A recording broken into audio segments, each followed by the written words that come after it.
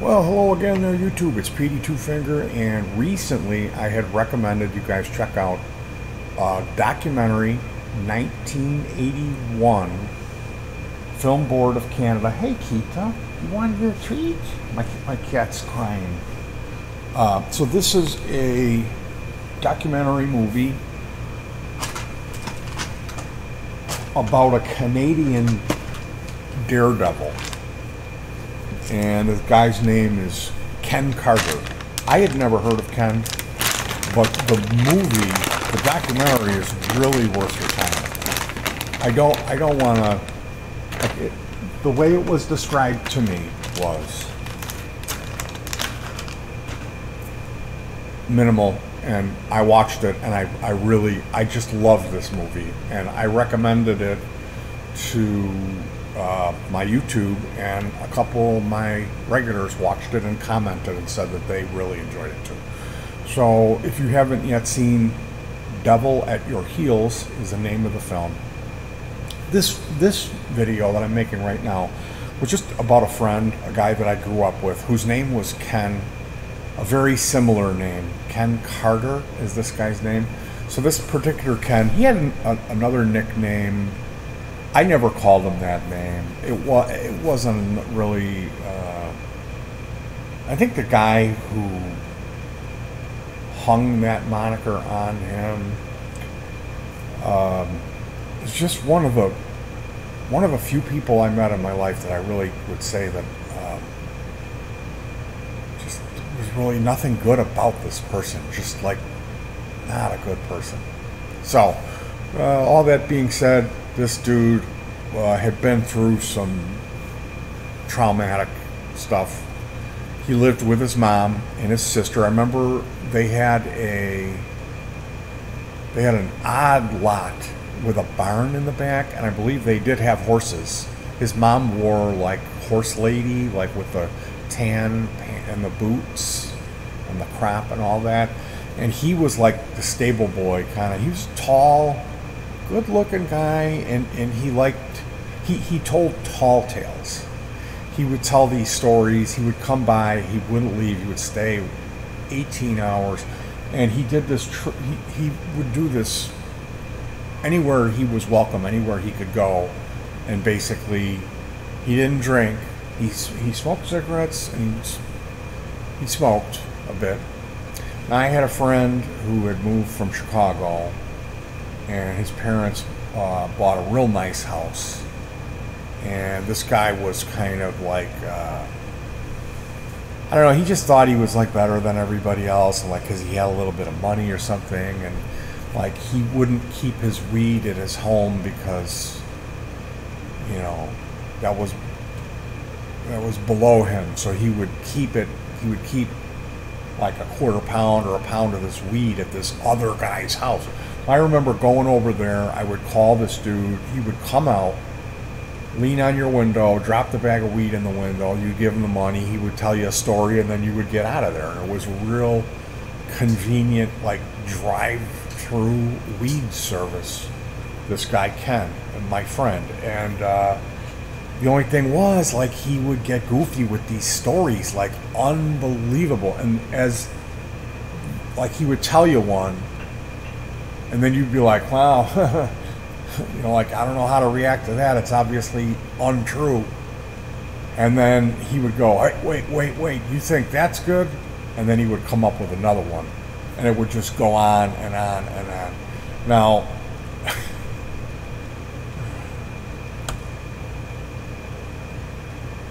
there, the end of the story, he does, he, at this point, after 2008, he does have a real story you can tell. So we will get to that, but I wanted to give it as an example one of his stories that I remember because when I was watching this film, in the beginning of it, the dude recants one of his daredevil stunts gone awry, and you can tell that he's worked this one up. He's retold this several times. This is one of his lines that are stories that he tells women at the bar, you know, and it it, it seemed a bit embellished and retold and polished. And I actually got the impression that maybe this movie that I was watching wasn't legitimate. That this was like a a Spinal Tap thing, you know. But it's not. The movie's real. Anyway, watch this thing. It's a great movie, and it reminded me of this guy. So I wanted to uh, share this story that Ken used to tell.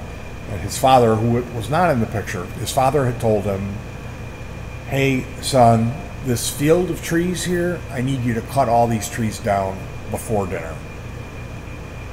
And it's, uh, it's kind of a daunting task because it's a whole huge field of trees, and it's got to be done before dinner. So Ken does not know what to do at this point. He walks into the garage where he looks to the right and he sees a go kart.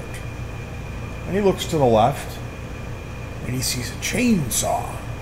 So as the story proceeds, the chainsaw becomes attached to the go kart and he cuts the whole field of trees down with time for baseball before dinner. This is the story. One one of them. Now, I believe that's that's a uh, Speed Racer episode, isn't it? In any event, fast forward. Uh, the last time that I saw this guy was probably 1998, and 10 years or so later, it's 2008. My wife is on her way home from work, and she comes in the door and says, There's something going on. Uh, over there by Fifth Avenue cutoff. The, police, uh, and there's uh, five helicopters flying around, and it's barricaded, and there's SWAT team. And that Fifth Avenue cutoff, that street, that's where this guy lives. And it's not it's like there it isn't a whole huge subdivision. There's only a few houses back there. It's like a dead end. People drag race on it. It's weird. It like it comes up and then it turns, and it's kind of an abrupt turn. So they got a super bright light on a pole in his yard. And what had happened? He had been hunting. I believe. I, I don't know the story by the hunting. Was he doing it for fun, or was were they eating that meat? I don't know. Um, he had shot the light out. And I remember later hearing one of the neighbors complaining about him, saying that he was he had this rifle, which more than likely was a it was a pellet gun, which is it's in between a BB gun and a 22 rifle. You got your pellet air rifle, and that's this, you cock it so it's cheap. You only you don't need to buy the compressed air CO2 cartridges, which are kind of expensive. Um, and it can be powerful. You can hunt small game. You can take out rabbits and squirrels. So he had developed a reputation. At least one neighbor is doing this in inappropriate. Uh, and again, I'm not here to throw shade on this guy or say he was bad. I'm merely retelling the story, and like I said, he was my friend. But according to this neighbor, he had become a nuisance because he was hunting on other people's property. And again, I, I don't know what the situation was. This is what this person said.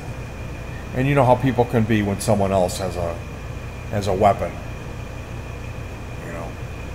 But uh, Ken obviously didn't appreciate this unbelievably bright light in in their front yard. I mean, it was like a second sun. And they had that there because the road curved and it was like kind of like all pine tree, like it was really dark where that turn was. I could see how you could easily not see it and drive right into that forest at night if you were going too fast or maybe you were a little tired. So he shot, shoots the lights out, and then the workers, I believe it was Commonwealth Edison, show up to repair this thing. And at some point, he is pointing the rifle out of the dwelling, doing a get off my land. And then I think there was some fireworks where he was like, uh, maybe they thought, because the initial reports were that he was shooting real rounds. So I think it was firecrackers and he's pointing a gun, which is like, like, dude, it's 2008. You can't do that. You know, you're you're going to regret this. So they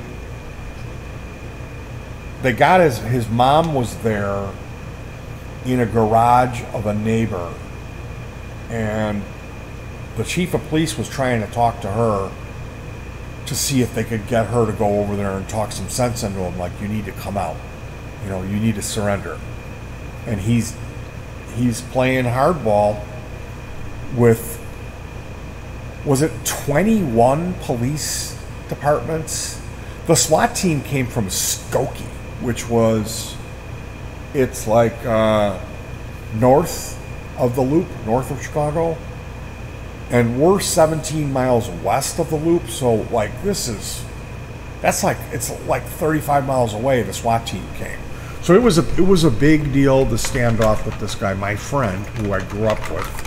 Um, you know, I, I, I had him over. He used to he used to come over and hang out with me and uh, I visited his house.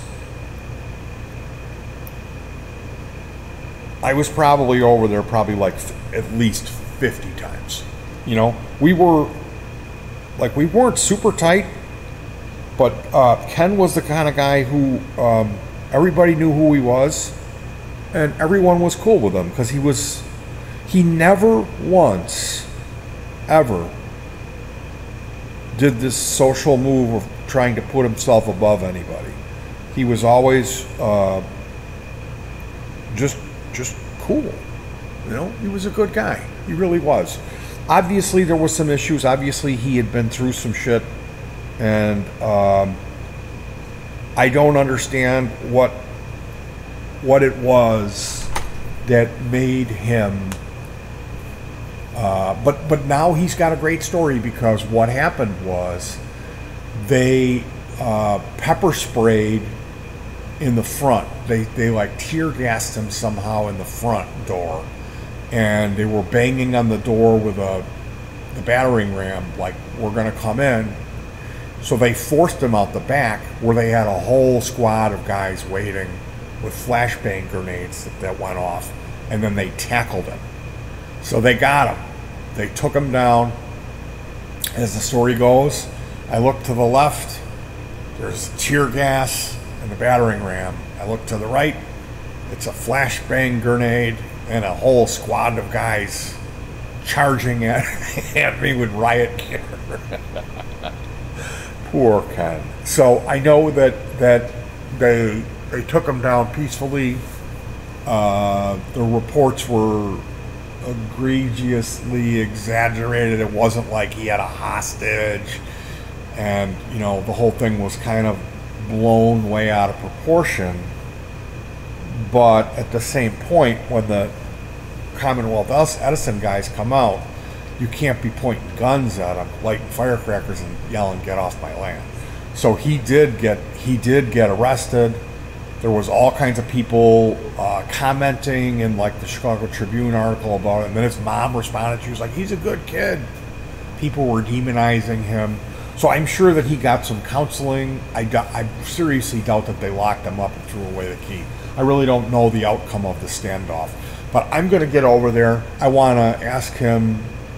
I'm going to pop in and conveniently have a recording device and ask him, hey, do you mind if I set this up and I'll like interview you? Could tell your story because I would I would love to. Uh, hopefully, he's still there. I got to get over there. I got to talk to this guy. Wouldn't that make for an interesting video? I would certainly love to get him on film and ask him about this uh, the go kart and the chainsaw and the pepper spray, battering ram, tear gas, and the squadron of guys in riot gear. so yeah, that's my Ken. That's my buddy Ken. Uh, Ken Carter. guy with a real similar name. That's that movie. You're going to want to check that one out. So you can go ahead and type in The Devil at Your Heels. Type that into your YouTube search because this movie is on YouTube and you could watch that right now. It's really worth your time. But that's the story of my buddy Ken. And in the uh, there, I couldn't really find much info. There's one video with no comments on it, uh, so I'll put the link to that in the description. If you want to check it out at least back up that I'm I'm not telling a tall tale myself. So you guys try to stay cool, hug your pets, and peace.